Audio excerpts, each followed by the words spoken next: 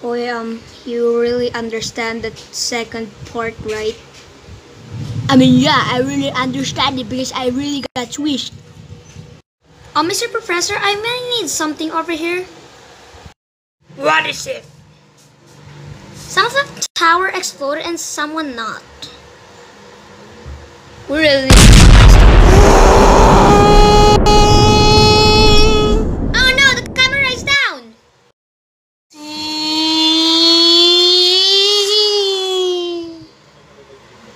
That idiot really just let me here.